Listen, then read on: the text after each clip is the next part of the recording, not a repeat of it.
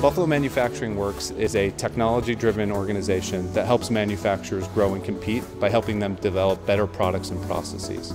The model for Buffalo Manufacturing Works goes all the way back to the Regional Economic Development Council here in Western New York.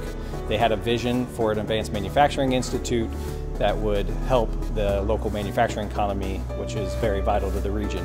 As part of this process, they identified EWI as a potential operating partner and a model for sustainability for the Institute. And we got involved early on in the business planning and then transitioned to the operator that we are today.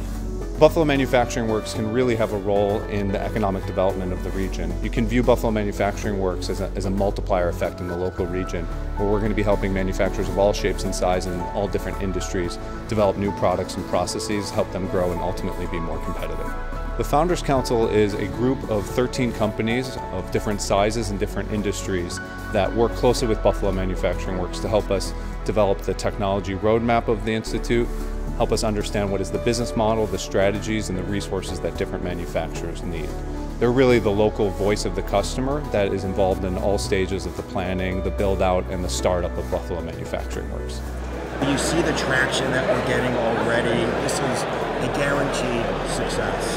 It's got the right people, it's you know the right concept, it's going to provide the right service for manufacturers. We are partnering with one of our Founders Council members, a local industry member, to develop a 3D printing learning lab that allows younger generation high school students to come in, interact with the technology, become really engaged with manufacturing technologies, and ultimately be a part of that next generation of the manufacturing workforce.